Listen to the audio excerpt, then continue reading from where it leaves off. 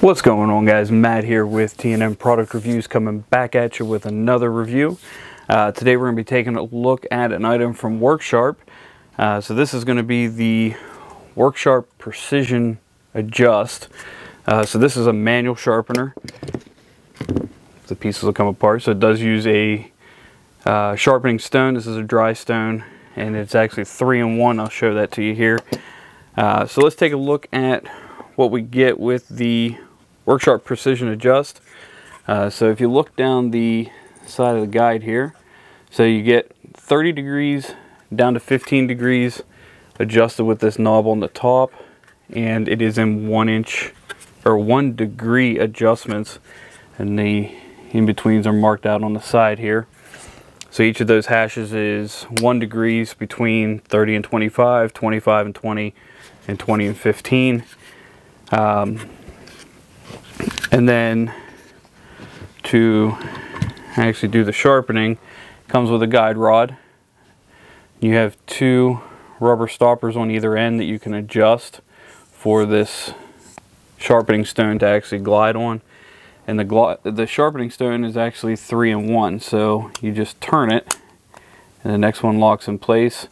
So you get a 320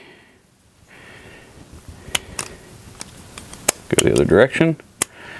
You get a 600, so there's your coarse, your fine, and then you get a ceramic finishing stone as well. Um, there are a few people that 3D print another barrel that will fit in uh, this outer guide, and I'll show here. It actually comes apart, so you can take just this off, and that barrel comes out. So this here's just your your guide for your fingers. They make a barrel for this to actually attach the lapping film to as well. I don't have one, but I do want to get one. And you just put it back on just like you would the stones. Slide your rubber stopper back on and you're good to go. On the opposite end, you do have a little pivot point and on the base here, actually wind this the whole way up so we can see it.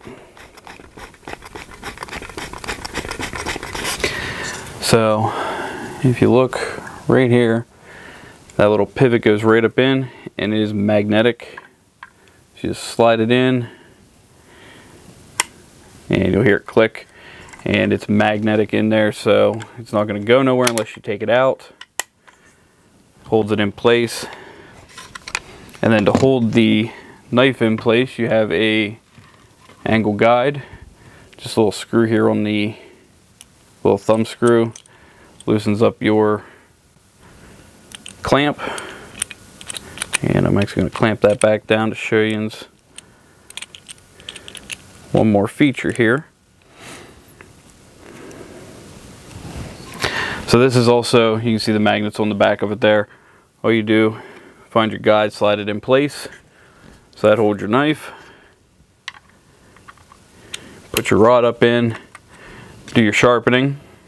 When you're ready to switch sides, move your sharpening rod out of the way. There's a button on the back here, you just press it in. When you press it in, it actually lets that clamp rotate 180 degrees. You can do your second side. Same thing, push the button, flip it back, and you can go back to sharpening again. So let me get you a close up here. So the button is just this right here, this big circle in the back. Push that in and you can turn the clamp side to side. I'll tell you what guys, I ran about five knives through this sharpener. Uh, reprofiled three of them, touched up two of them on 20 degrees and obviously I have an ESEE in here now, this is the Izula review to come. Um, I have not done anything with this one. It doesn't need it. It is razor sharp. Uh, but the the system, it, it's foolproof.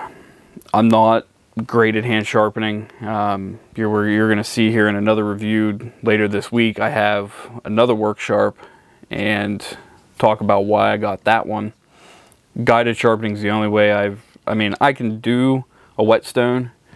Um, and I can kind of do a rod for butchering, but that's about as far as it goes. I can't get a, a precise edge on any blade really until I got this thing. Um, this I just got it the other day. Like I said, I put five knives through it and it's amazing. I can do a Tonto blade, Tonto blade on it.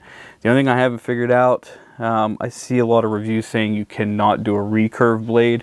So uh, blades like the ZT0350 won't be able to be done. Um, actually, I think I touched up my Braza. Um, so the Bastion Braza that I did a review on here a week or so ago.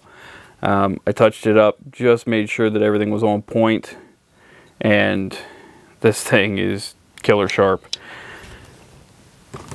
If you don't trust yourself sharpening knives or you're new to it, honestly, this is the best system you can get. Find the angle of your blade. You can even eyeball the angle of the blade. Um, honestly, not the best way to do it, but you can sit that ceramic stone down and even get that angle if you're looking right between the blade and the stone and see if it matches up. Like I said, not the best way to do it, but it's an option. Or you can just reprofile the blade completely starting at the 320 and working your way up.